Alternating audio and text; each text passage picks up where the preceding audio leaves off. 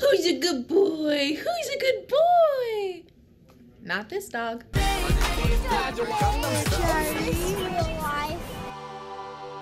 If you've ever owned a dog, you probably know that the only things it wants more than to be your friend are to jump on the bed and to know what that smells like, and that, and that, and that, and that, and that, and that, and that. No owner is gonna deny their dog the ability to sniff something, but I do understand why they don't want them to jump on the bed, because the dirtier something is, the more likely they are to have sniffed it and then gone and played with it, and then gotten it all over themselves, and then gotten it in the bed. But then that cat was up there all like, I'm on the bed and you're not, I'm on the bed and you're not. Well, guess what, cat?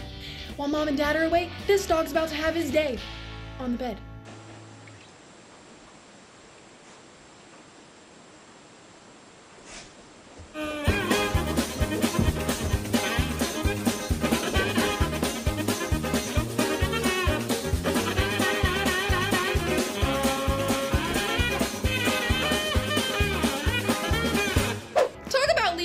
The field. When mom and dad are there, he's a good boy. But when they're away, it's party time. This dog saw his chance and he grabbed it.